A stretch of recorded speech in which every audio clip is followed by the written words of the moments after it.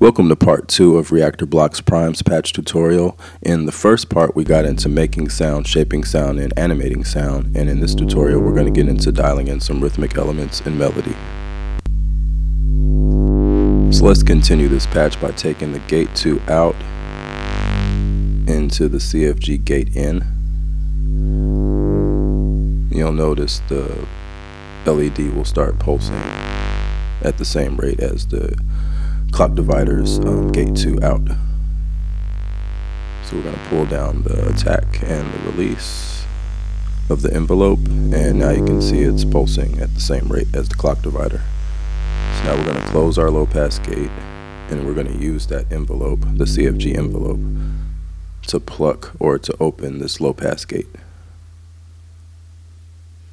So we're going to take the gate out of the CFG, gate out 1, we're going to put that into the plug-in of the low pass gate and now you'll hear it rhythmically opening that low pass gate.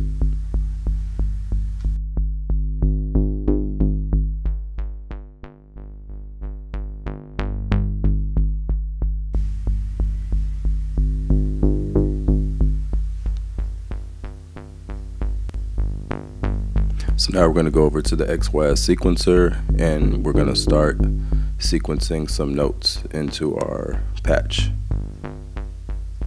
So as you can see the sequencer is moving along with the rate of the clock divider's pulse and then we're going to use these attenuverters to either dial in positive value pitches or negative value pitches or low notes or high notes. So we're going to take our output of the XYZ sequencer and we're going to put that into the pitch end of the carrier wave of the DWG oscillator.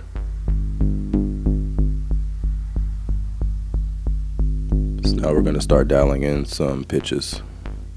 To the right is high notes and to the left is lower notes. Now we need to click this keyboard to actually track the pitches.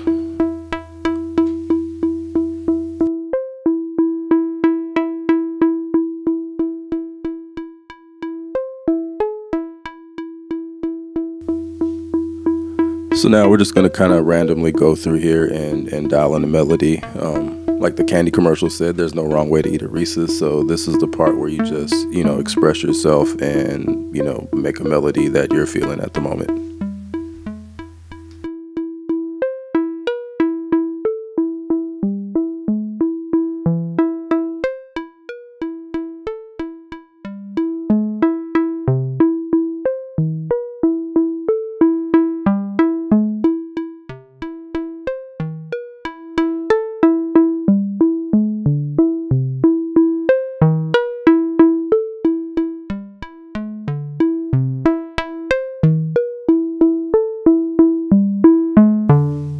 Okay, so now that we have our melody dialed in, we're going to go back to our DWG oscillator and we're going to start messing with the frequency modulation bus.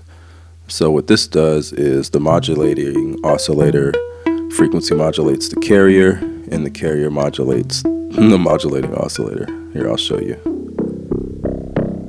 So this is the sound of the modulating oscillator frequency modulating the carrier wave.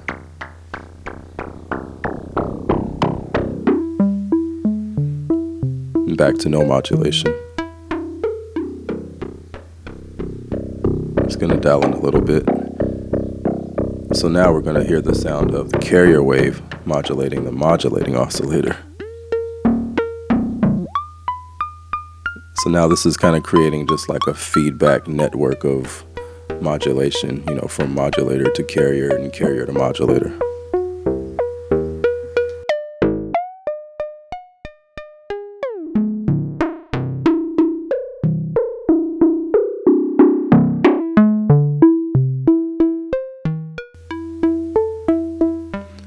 And this knob down here is a wave shaper that goes from sine to triangle to square and all points in between.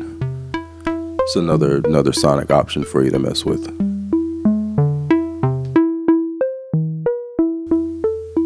So now we're going to go back to our modulation bus and we're going to actually automate some of this frequency modulation to give this patch a little more movement